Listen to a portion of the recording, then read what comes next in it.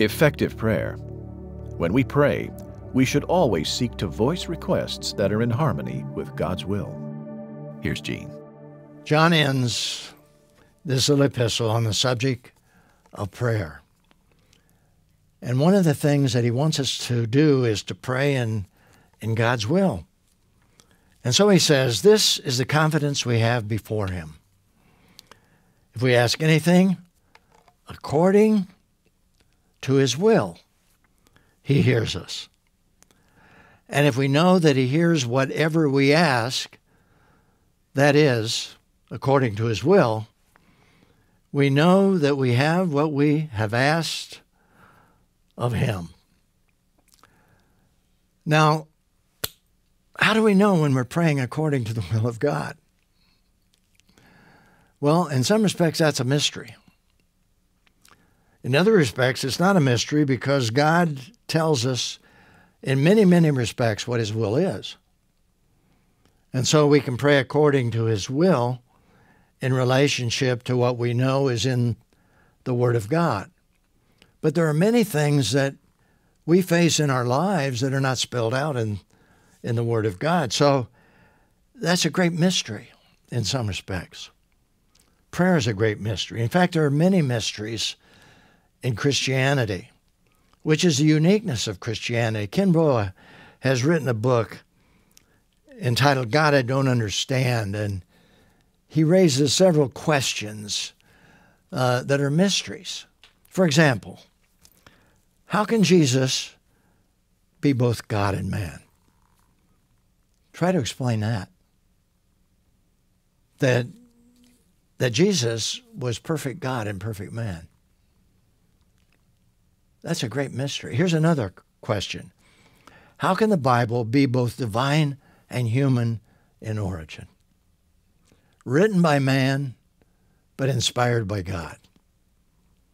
That's a great mystery. Here's another question How can God be three persons and yet one God? Now, there are some people that use all kinds of illustrations to try to illustrate that, but you never can. I don't care what human illustration you use, it falls short of what it really means for God the Father, God the Son, God the Holy Spirit to be one, and yet three persons. Another question How can God be sovereign and we're still free to choose? That one is one that we'll spend eternity probably trying to understand and comprehend. And we could ask this question about prayer, because prayer too is a mystery. How can prayer be reconciled with God's providence? Now, providence is a word that's not used in Scripture, neither is the word Trinity. But still, we have the Trinity, the truth of the Trinity, and we have the truth of God's providence. And what is God's providence? Well, let me give you several definitions. Uh, this comes from Dr. Augustus Strong. Providence is that continuous agency of God by which He makes all the events of the physical and moral universe fulfill the original design by which He created it. That's God's providence. Here's a, a definition from J. Oliver Buswell God is not only the creator of all things, but he continuously sustains and rules all of his creation. That's God's providence.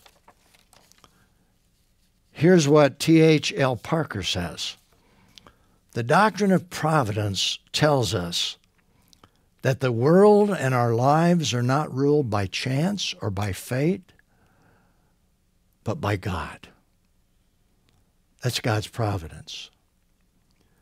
And so we have God's providence and prayer. Now, if these definitions are biblically accurate, and I, I believe they are, how does prayer fit into God's sovereign and providential plans? In many respects, that's a mystery. Someone might argue that if God has planned everything and the plan is going to be fulfilled, why pray at all? Why pray at all? And yet God tells us to pray. And that's a mystery. Here's another thought. If God has planned certain things, won't they happen anyway? You know, why pray? Well, God tells us to pray. And so the best way to answer these questions is to go uh, to the Word of God. And since we're looking at what God wrote, uh, let's notice requirements before God will respond to our prayers. Now, we've already looked at um, a first guideline. Number one, we must act according to God's will. And that's, um, that's a powerful, powerful statement. But here's number two we must be in close fellowship with God for God to answer our prayers.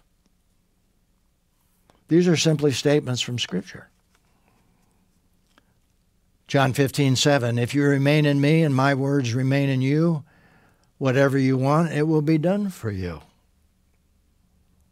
1 John 3, 21, 22, which we've already looked at. Dear friends, if our hearts don't condemn us, we have confidence before God and receive whatever we ask from Him because we keep His commands and do what is pleasing in His sight. And so, God says clearly that if we're going to have answers to our prayers, we must be walking in close fellowship with Him. And then here's a here's another guideline. We must ask with pure motives.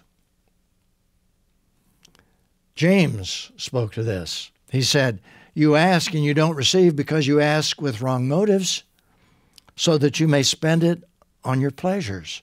And there he's referring to pleasures of sin. And that, that's kind of contradictory, isn't it? I'm going to ask God to give me something so I can sin. But evidently, these believers that James wrote to were doing that. And he said, you ask and you don't receive because you ask with wrong motives. Those wrong motives are so you may spend it on your pleasures. But here's a, a fourth guideline. I love this one, and it's very simple. We must ask. And James said, right in the same context, you do not have because you do not ask. Now, these are statements that are given to us in view of the fact that prayer is related to God providence, and yet God says there are certain things that must be true for us to experience answers to prayer. And regardless of the mysteries, God answers prayer. And there are certain guidelines where He will not answer prayer, and there are certain guidelines where He will answer prayer. And when we get into these great mysteries, we simply have to go back to the things we understand and live with those great truths that we can understand. You know, I've, I've raised a reflection response question here, and that is why is Nehemiah's model so significant in understanding prayer? And uh, Nehemiah's model relates to the fact that he was cupbearer to the king, he was in captivity. And about five or six hundred miles away, the walls of Jerusalem were broken down, and the Jews that were there were in great turmoil, great pain because of the enemies of Israel. And Nehemiah didn't know what to do except pray. And he gives us a beautiful model prayer. First of all, he acknowledged God's greatness. He just simply say, said, God, you're awesome. And you can do anything you want to do. Secondly, he reminded God of his promises. God, you made certain promises to my people Israel. And you said if we do certain things, you'd answer prayer, you'd deliver us. Now, God has made certain promises to us, too, as his children. So it applies to us. Nehemiah confessed his sins and the sins of his people. And we're told to confess our sins and not to be asking with wrong motives. And then Nehemiah was very specific in his request. He said, Grant me favor with this king, Artaxerxes, that he served. Now, God answered that prayer, and I've used that, that model prayer many times, and I've seen God answer prayers. But there's still mysteries. Some of you know that at one point in my life, I had a serious bout with a very serious illness. It was known as COVID 19. And at my age, I was very vulnerable. In fact, about the second or third week I was in the hospital, my, my family gathered together at the advice of the doctor to say goodbye, that I was going home to heaven.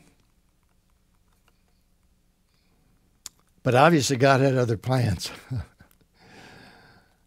and I turned around and I was in the hospital and care centers for eight months before I was able to go home, even. And I had certain things that resulted from that serious disease. And one of them has affected my legs so that I couldn't walk. Now, I've been athletic all my life, and that was a whole new experience for me. And those of you who follow my teachings and have actually come up to First John, this early epistle, and the last several principles that I've done, uh, you may not have noticed, but I'm sitting down. Up to that point, I was standing up. But I'm sitting down because I can't stand up. Now, I've really prayed and I've asked God if He might heal me.